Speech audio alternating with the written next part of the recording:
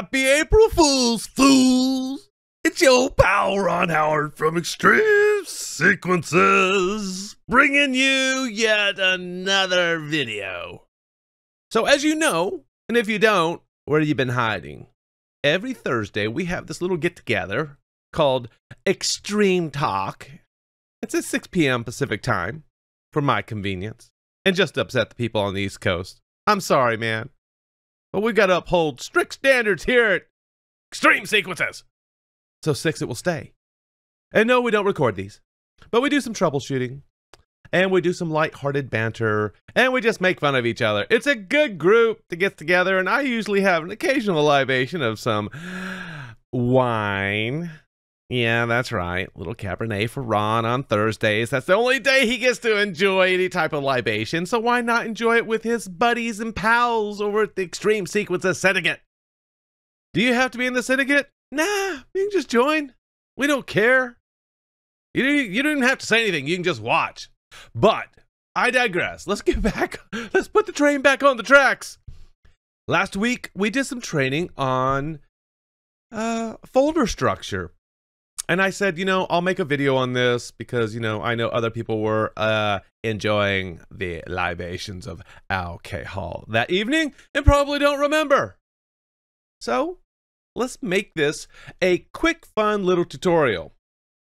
What I've got here is xLights 10 that is pointed at this old Christmas folder. We'll just say that this is last year's.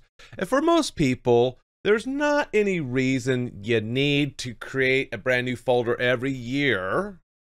I usually do this, but I have different reasons for doing so. If you have last year's folder and you're simply adding on to your show, you should just be able to keep everything here. But some people just want to start over. Or if you're brand new to the hobby, you have no choice. You're starting from scratch whether you like it or not. So we'll talk about that as well. But as you see in this folder here that I have, this is sort of a test folder that I used last week with just a sequence in there. There is a folder structure here that's very important. And some of these, if you don't create them, they will be created for you. And I'm going to go down the list and explain this. The 3D folder simply is for a 3D layout that has the MTL files, the skins, and of course the OBJ file. That's what that guy is right there. If you're not running 3D, don't worry about it. If you are running 3D and you do want to copy your entire show from one folder to another, make sure you bring that over and maybe possibly link it to your new location. Just because you copy everything from here, from this old Christmas show to this new Christmas show, doesn't mean that it's pointing to the right location you simply copied everything over here, this is still going to point to everything that's over here. And that means audio, your backups, your color curves, faces, images, music, preset shaders, all that stuff is going to be pointed over that way. That's why you've got to think about this. If you plan on just switching everything over, you may end up telling it that it needs to point to new locations. Okay? So that may not be a benefit for you. And I'm not sure why you would do that anyway. Okay? if you are brand new, there are some folders that we want you to create. Uh, audio will create itself if you're importing a sequence from somebody that included the music. That's not going to be very often due to copyright issues. So it's a good idea to create a uh, folder called, and I would, I believe I would just call it music. I believe that's the one. Audio is not the one that's going to create automatically for you. I believe it's music. Uh, the other two folders that will create for you automatically is images and videos and shaders. If you import a sequence that has videos, images, or shaders, and you don't have a folder called images, videos, and shaders, it will create it for you and stick them in there. That's a great thing. That's a beautiful thing. And even if you go ahead and create them, it will still recognize them and put them in there. Just make sure you spell it this way images, videos, shaders. Plural. Thank you. The rest of this, the palettes, it will create for you automatically. The faces it will create for you, the color curves it will create for you, the backups it will create for you. Uh, xSchedule data it will create for you. I don't use xSchedule anyway, so I don't need it. So there we go. What will it not create that I suggest you create? Okay, that's a very, very good question. uh, I would make sure I create a folder called imports. Why would I do this?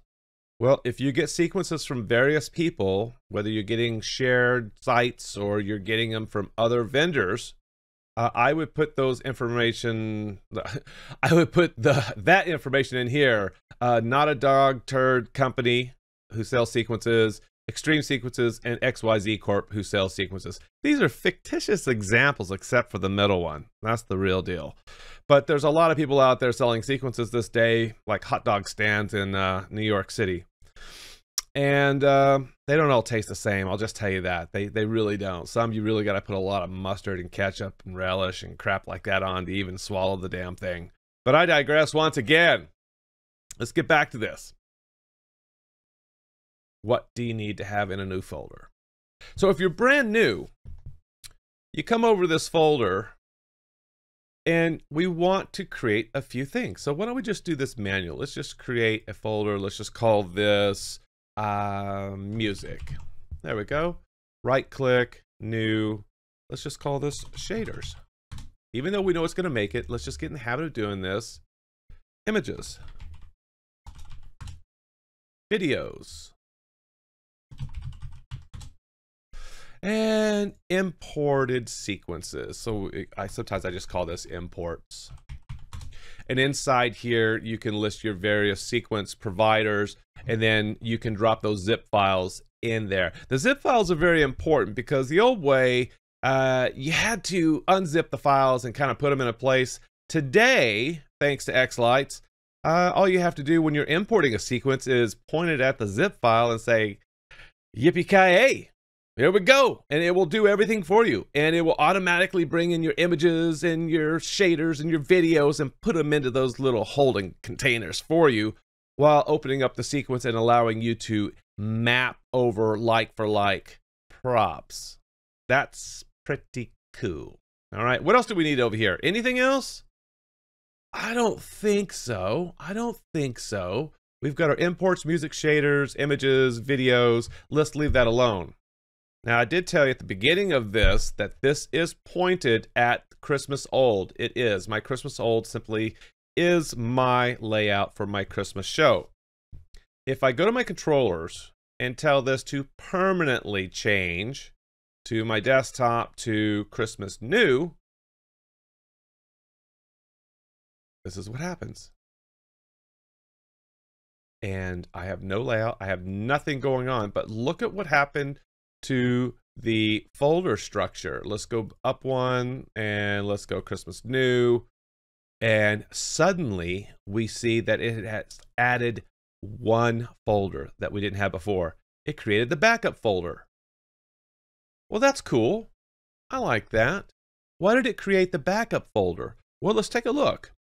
If we look in the preferences, it is automatically choosing to use the show folder as a backup directory, which is what we had in the older layout. So that's good. That means when it backs up, it's going to back up in the root directory of your new Christmas show. Or if you're first time uh, hobbyist with X xLights, it's simply going to put it there. Okay. It's going to back up on launch. It's going to back up subfolders, and it's going to purge the backups every 30 days. I think that is sensible. You can also create a alternate backup, an alternative directory, if you will.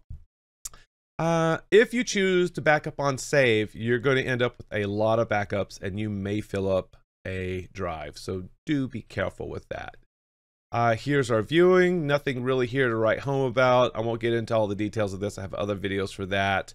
Uh, but what I do want to get into is what are we using for our render cache directory? Use show folder. I'm sort of a fan of this. I don't want this pointing in other places. I have a dedicated drive for my show folder, and that's where I like to keep it. Also, my FSEQ files, save FSEQ, where is it saving? Guess what? It's using my show folder. I like keeping it contained in there. I've tried placing it other places, and I just think when you're troubleshooting, it's just easy to do this. Okay, all right, next, anything else? Output, random effects, colors, other. Not really. Okay, we won't get into this other stuff. So really it's about the backups and sequences.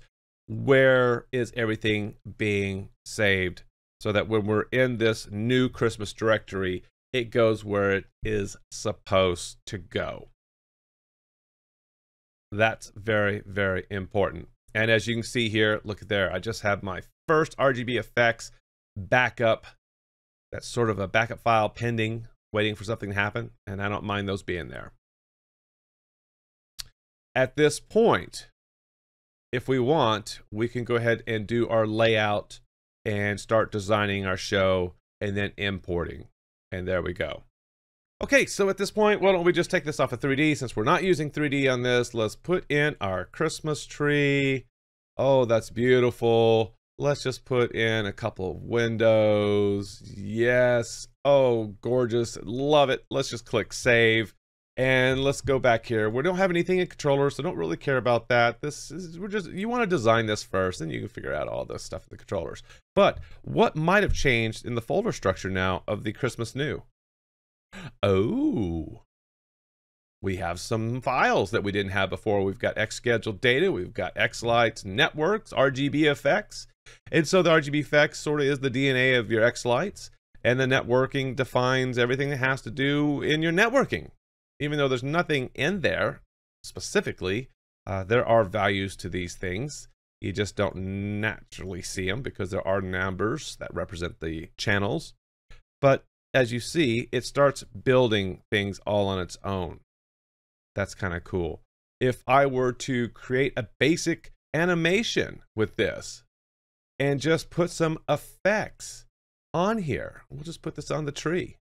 And that is just absolutely gorgeous.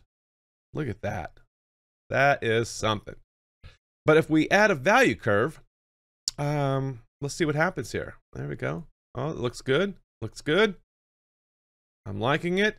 Maybe we create something in here that's a little bit different and we save this, update it. Uh, what might have happened? Don't know.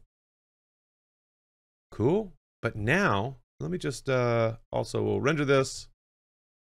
We will save as, we'll call this our first show. Oh, isn't that lovely? Now let's go to our Christmas new. And what do we have?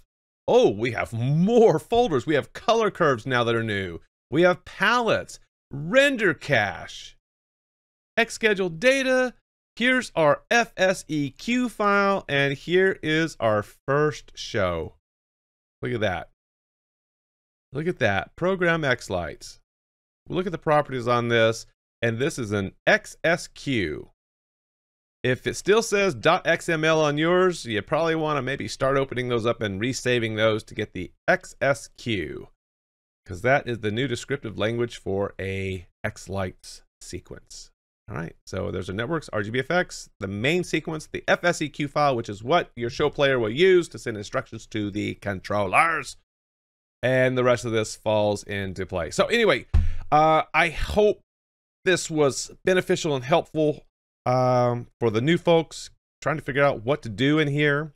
And if you're an existing user of xLights, hopefully this sheds some light on maybe why it's okay just to stay with your folder that you already have and make your changes there. All right, gotta run. Take care, folks.